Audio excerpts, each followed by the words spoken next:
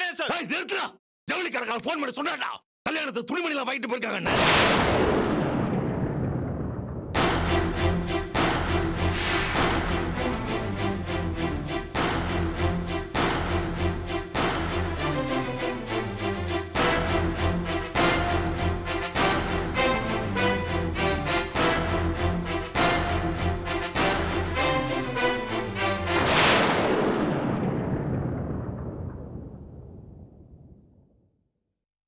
சொல்றா. அவங்கள மறைச்சு வச்சிருக்கிற நிச்சயமா உங்களுக்கு தெரியும். எங்க மறைச்சு வச்சிருக்கீங்க? சொல்லுங்க. எங்க என் பையனும் உன் பொண்ணு கூட சேர்ந்து தற்கொலை பண்ணிக்குவானோன்னு நினைச்சு பயந்துகிட்டு இருந்தேன். ஆனா இப்ப நீ சொன்ன பாரு உன் பொண்ணை கல்யாணம் பண்ணிக்க தான் என் பையன் போயிருக்கான்னு. இப்ப எனக்கு ரொம்பவே சந்தோஷமா இருக்கு. டேய் நான் சவால்ல ஜெயிச்சிட்டேன்டா.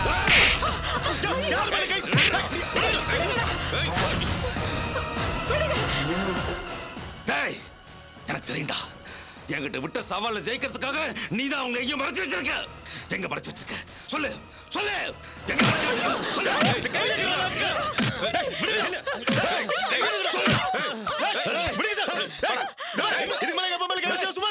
என்னடா?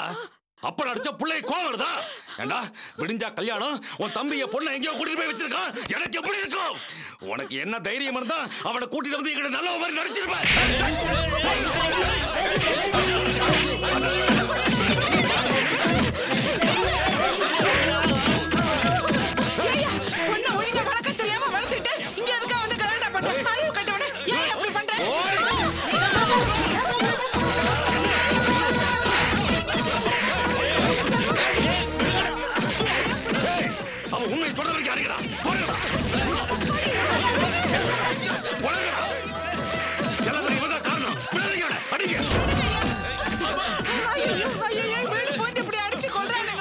ஐயோ கடவுளே.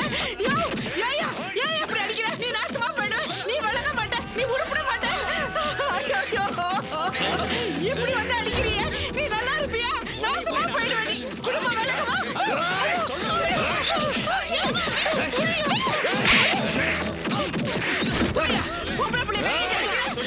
எங்க இருக்காங்க? நேத்துக்கு நான் என் பொண்ணை தெரிய வீட்டுக்கு வந்த போது என்ன சொன்னேன்? பொண்ணை வளர்த்து வச்சிருக்கான் போலன்னு கேவலமா பேசுறீங்களா? நீ மட்டும் உன் பிள்ளை நல்லா வளர்த்து வச்சிருக்கியா? ஏண்டி பெரிய எடுத்து பொண்ணை எப்படி வளைச்சு போடுறதுன்னு தயார் பண்ணி வச்சிருக்கியா அவனை? ஏய் உனக்கு ஒரு பொண்ணு இருக்கால? இருக்கால? இந்த பொழப்பு பிழைக்கிறதுக்கு வேற ஏதாவது தொழில் பண்ணுங்கடி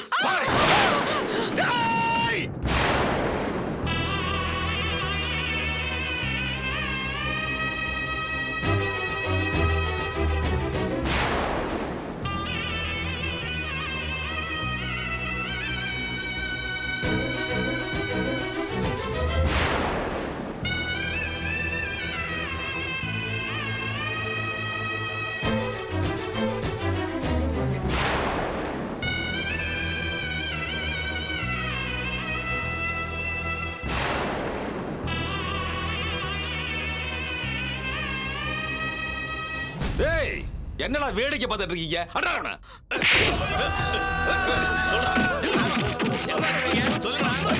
ஏய்.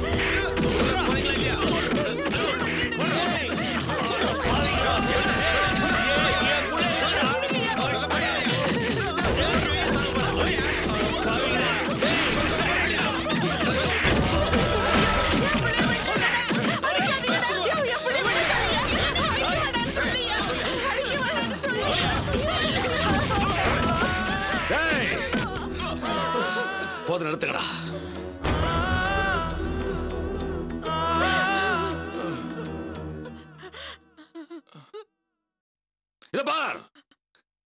என் பொண்ணு எப்படி என் வீட்டை விட்டு போனாலோ அப்படியே திரும்ப என் வீடு வந்து சேரணும். அதுவும் நாளைக்கு காலையில ஆறு மணிக்குள்ள. இல்ல? இப்ப உங்களெல்லாம் உயிரோட விட்டுட்டு போறேன். நாளைக்கு காலையில வந்து குடும்பத்தோட கொளுத்திடுவேன். என்னை பத்தி தெரியும்ல? ஏய் வாட போலாம். அடே.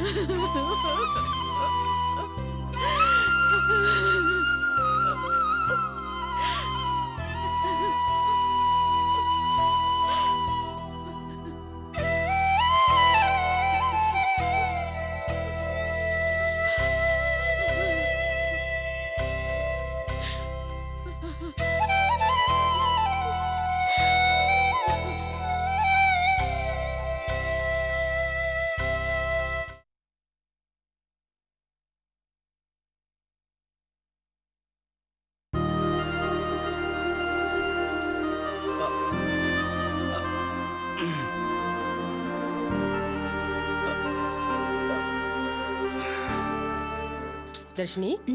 என்ன என்ன பண்ணிக்கிட்டு இருக்க? திலீபன் அடிபட்ட கையோட சாப்பிட முடியாம சிரமப்பட்டுக்கிட்டு இருக்கான். நீ கொஞ்சம் அவனுக்கு ஹெல்ப் பண்ணணும்னு இல்லாம நீ பாட்டுக்கு உட்கார்ந்து புக்கு படிச்சுக்கிட்டே இருக்க? எதுக்கு ஆண்டி ஹெல்ப் பண்ணணும்? ஏதோ உடம்பு சரியில்லைன்னா ரெண்டு நாள் ஹெல்ப் பண்ணலாம். இப்பதான் அவர் உடம்பு சரியாயிடுச்சே. இனிமே அவர் தேவைகளை அவர் தான் மெல்ல மெல்ல பண்ணிக்கணும். இப்போ நான் ஹெல்ப் பண்ணிடுவேன். நாளைக்கு ஆபீஸ் போனா யார் ஹெல்ப் பண்ணுவா? திலீப்ல ட்ரை பண்ண விடுங்க.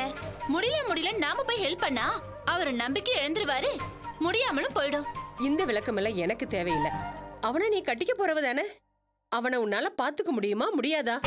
ச்சே, என்ன ஆண்டி? உங்களோட ஒரே டார்ச்சரா போச்சு. கொடுங்க.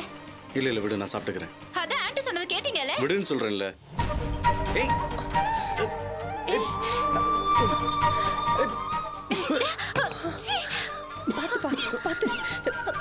இருப்பா தண்ணி கொண்டு வரேன். என்ன திலீபன்? உங்களுக்கு கண்ட்ரோல் பண்ணி சாப்பிட தெரியாது?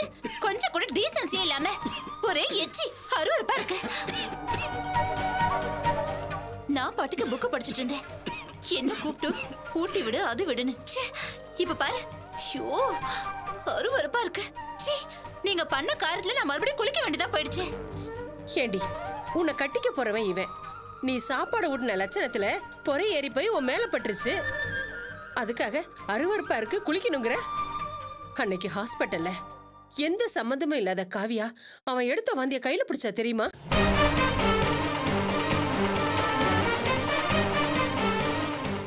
அவ பண்ணாங்கிறதுக்காக நான் பண்ண முடியுமா? அவள மாதிரி டிராமால எனக்கு பண்ண தெரியாது. அவளோட கம்பேர் பண்ணி என்ன பேசாதீங்க. ஃப்ரெண்ட்லியா பழகுற அந்த பொண்ணு. இவன் மேல கட்டுற அக்கறைய கூட கட்டிக்க போற பொண்ணு நீ காட்டலைனா கம்பேர் பண்ணதான் செய்வோமா அது உனக்கு பிடிக்கலைன்னா நான் என்னம்மா செய்ய முடியும்? இங்க பாரு. இதெல்லாம் உனக்கு அருவருப்பா இருந்தா விட்டுரு நான் பாத்துக்கிறேன். உனக்கு கட்டிக்க போறவன் மேல அக்கறை இல்லாம இருக்கலாம். நான் பெத்த புள்ள மேல நான் அக்கறை இல்லாம இருக்க முடியுமா? நீ சாப்பிடுப்பா.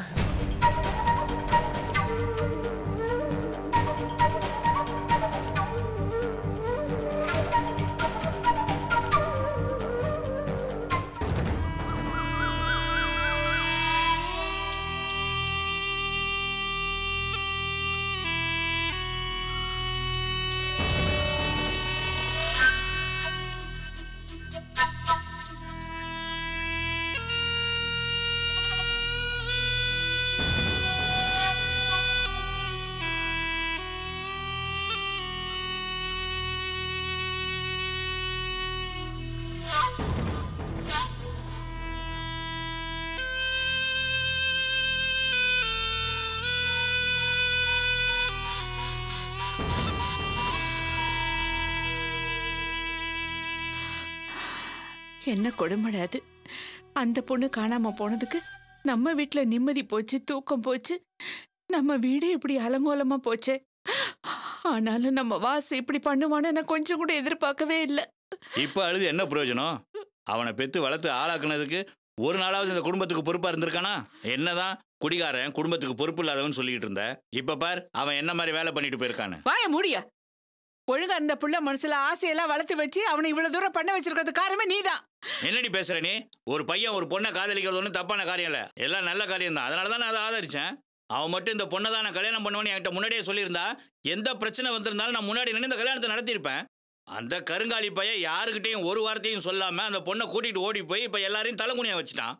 அவனுக்கு என்ன தைரியம் நெஞ்செழுத்தா இருந்தா ஏற்கனவே அந்த பொண்ணை கூட்டிகிட்டு ஓடி போயிட்டு ஒன்றும் தெரியாத மாதிரி நம்ம கூடவே இருந்து இந்த நாடகம் ஆடி இருப்பான் அவன். அப்பா பிடிஞ்சிருச்சுப்பா. வாசல்ல போய் கோலம் போட கூட எனக்கு பயமா இருக்குப்பா. அந்த ஆள் வேற காலையில ஆறு மணி வரைக்கும் தான் கிடி கொடுத்திருக்காரு. பொண்ணு வரலன்னா குடும்பத்தோட கொளுத்திரன் வேற சொல்லிருக்காரு. இப்ப என்னப்பா பண்றது? என்னம்மா பண்றது? அந்த ஆளுக்கு அரசியல் அடியாளு பலம் பணபலம்னு எக்கச்சக்கமாக வச்சுருக்கான். மறுபடியும் வீடு பூந்து அடித்தா கூட அக்கம் பக்கத்தில் இருக்கிறவங்க கூட யாரும் என்னன்னு கேட்க மாட்டாங்க. என்ன பண்ணுறதுன்னே எனக்கு தெரியலையேம்மா.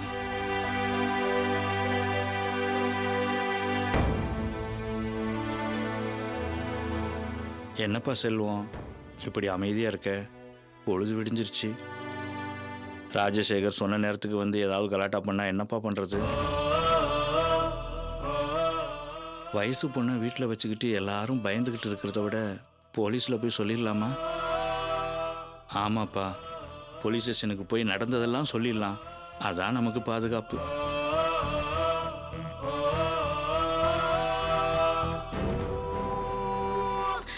ஆமாப்பா அந்த ஆளு சொன்ன மாதிரி நம்மளை எல்லாம் வீட்டோட வச்சு கொளுத்தினாலும் கொளுத்திடுவான்ப்பா நம்ம போலீஸ்க்கே போயிடலாம்ப்பா ஏம்மா வாசு செஞ்ச தப்புக்கு நம்ம எதுக்காகம்மா ஓடி ஒளியணும்? இதுக்கு பேர் ஓடி ஒளியறது இல்லைப்பா நம்ம ரெண்டு பேரும் ஆம்பளைங்க. நமக்கு என்ன நடந்தாலும் பரவாயில்ல. உங்கள் அம்மாவும் தங்கச்சியும் நினைச்சு பாரு. அவங்களுக்கு ஒரு பாதுகாப்பு வேணாம் இத பருப்பா செல்வம். நம்ம இந்த சோதனையெல்லாம் தாங்கித்தான் ஆகணும்ப்பா நம்ம போலீஸ்க்கே போயிடலாம்ப்பா ஆமாண்ணா. போலீஸ்க்கு போறது தானே நமக்கு பாதுகாப்பு? வாங்கண்ணா போலாம்.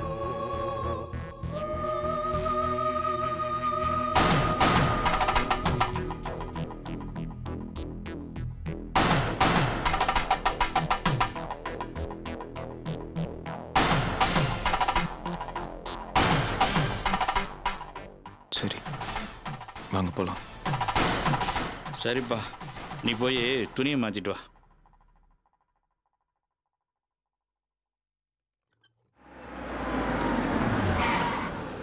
நம்ம வீட்டு முன்னாடி போலீஸ் ஜீப் வந்து நிற்குது பக்கத்து வீட்டுக்காரங்க ஏதாவது ஃபோன் பண்ணியிருப்பாங்களோ செல்வம் நம்ம வீட்டுக்கு போலீஸ் வந்திருக்குப்பா.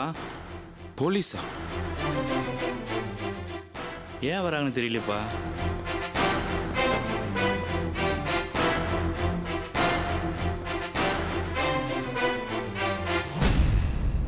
என்னய்யா? எங்க கிளம்பிட்டீங்க? ஊரை விட்டு ஓடி போலான்னு பாக்குறீங்களா? நாங்க எதுக்காக சார் ஊர் விட்டு ஓடணும்? எதுக்காகவா? பையனையும் பொண்ணையும் கொண்டு போய் ஒளிச்சு வச்சிருக்கீல்ல அவங்கள பார்க்கதான்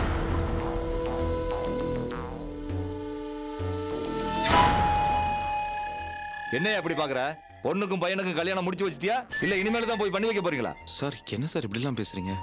பொண்ணும் பையனும் எங்க இருக்கான்ற உண்மையை சொல்லிட்டீங்கன்னா நான் இத்தோட விட்டுருவேன். அப்படி இல்லைன்னா குடும்பத்தோட கூட்டிட்டு போய் லாடம் கட்டிடுவேன். என்ன? சார். எங்களுக்கு எதுவுமே தெரியாது சார் எங்க தம்பி இப்படி பண்ணுவான்னு நாங்கள் கொஞ்சம் கூட எதிர்பார்க்கல. பொண்ணோட அப்பா வந்து நேற்று ராத்திரி வீட்டையே அலங்கோலப்படுத்திட்டு போயிட்டாரு. போதாதத்துக்கு எங்களை குடும்பத்தோட கொளுத்திடுவேன்னு வேற மிரட்டிட்டு போயிருக்காரு. நாங்களே பாதுகாப்புக்காக உங்களை தேடி தான் சார் கிளம்பிட்டு இருக்கோம் போதும் நிறுத்தி அவன் கதையெல்லாம். பொண்ணோட அப்பா வந்து நைட்டு கலட்டா பண்ணாராம். ஆமாம் சார் அங்கே பாருங்க சார் எல்லா பொருளையும் எப்படி பண்ணியிருக்காங்கன்னு. ஏயா அவரே பொண்ணை காணோம்னா அங்கே தவியா தவிச்சுக்கிட்டு இருக்காரு. இதையெல்லாம் நீங்களே செட் பண்ணி டிராமா. பண்ணிட்டு அவர் வந்து கலட்டா பண்ணாருன்னு சொல்றீங்களா? சார் நாங்க சொல்றது உண்மை சார். சத்தியம். நாங்க பொய் சொல்ல எங்களை நம்புங்க சார். யோ சும்மா நிறுத்தி அவன் சத்தியத்தெல்லாம். நைட்டு வந்து கலட்டா பண்ணாருன்னு சொல்றீல்ல அப்ப வந்து கம்ப்ளைண்ட் பண்ண வேண்டியதானயா இதெல்லாம் நீங்க போட்ட டிராமான்னு நான் சொல்றேன். சார் சார் இல்ல சார். அந்த நேரத்துல என்ன பண்றது ஏது பண்றதுன்னு எங்களுக்கு ஒண்ணுமே போதும் நிறுத்தியா? நீ சொல்றதெல்லாம் நம்புறதுக்கு நான் தயாரா இல்ல. பொண்ணையும் பையனையும் எங்கேயா ஒளிச்சு வச்சிருக்கீங்க? அதை பத்தி சத்தியமா எங்களுக்கு எதுவுமே தெரியாது சார். பொண்ணோட அப்ப பணக்காரன் வசதி படைச்சவன். சாதாரண ஆளுன்னு நினைச்சிடாதீங்க. ஒழுங்கா உண்மையை சொல்லிடுங்க. சார் நான் தான் சொல்றேன்ல. சத்தியமா எங்களுக்கு அதை பத்தி எதுவுமே தெரியாது சார். உங்ககிட்ட பேசி எதுவும் பிரயோஜனம் இல்ல. ஸ்டேஷன்ல வச்சு விசாரிச்சா தான் உண்மையை சொல்லுவீங்க. அப்படி எல்லாரும் கிளம்புங்க. என்ன சார் இது கொடுமையா இருக்கு? நாங்க என்ன சார் தப்பு சும்மா வாய முடியா? எல்லாத்தையும் ஸ்டேஷன்ல வச்சு பேசிக்கலாம். யோ எடுத்துட்டு வாங்கயா சார், வாய மூடிட்டு வாயா. சார் வேண்டாம் sir. Sir sir sir sir sir நானும் எங்க அப்பா நீங்க எங்க கூப்பிட்டாலும் வரோம் சார். ஆனா இவங்களை விட்டுருங்க சார். என் தங்கச்சி காலேஜ் போற பொண்ணு சார். வெளில தெரிஞ்சு அசிங்கமாயிடும் சார் ஏயா அப்போ உங்க வீட்டு பொண்ணு மட்டும் தான் பொண்ணாயா மத்த வீட்டு பொண்ணுலாம் மண்ணு நினைச்சிட்டியா அதெல்லாம் முடியாது எல்லாரும் ஏத்துக்கயா எல்லாரும் வேடிக்கை பார்க்கலாம் சார் சார் சார் சொன்னா கேளுங்க சார் பேசாத சார் சொன்னா கேளுங்க சார் நான் ரெண்டு பேரும் வரோம் சார். தலை தலை தலை அவங்கள மட்டும் விட்டுருங்க. என்னடி குடும்பம் இது? எப்ப பார்த்தாலும் போலீஸ் ஸ்டேஷனுக்கு போறதும் வரதுமா இருக்கிறாங்க. சரியான மனங்கட்ட குடும்பமா இருக்குது. இதெல்லாம் ஒரு குடும்பம். ஏங்கா ஒரு வயசு பொண்ணை இப்படி போலீஸ் ஸ்டேஷனுக்கு கூட்டிட்டு போறதும் கூட்டிட்டு வரதுமா இருந்தா நாளைக்கு யார் இந்த பொண்ணை கல்யாணம் பண்ணிப்பா? எவன் கட்டிப்பா? வீட்லயே வச்சுக்க வேண்டியதுதான். சரியா சொன்ன. நல்ல குடும்பம் இது. இவளுக்கு இதெல்லாம் தேவைதான். ஏறுமா ஏறுமா வண்டியில.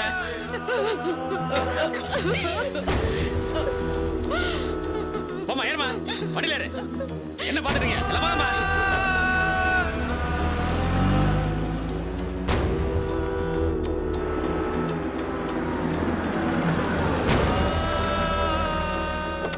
ஆ இறங்கு. இறங்கியா? இறங்கியா? உன்னை தனியா சொல்லணுமா?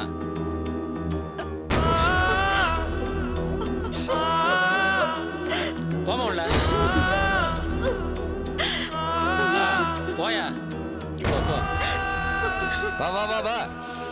யோ எடுத்துட்டு வாங்க அவங்கள. நடமா? நட நட. போமா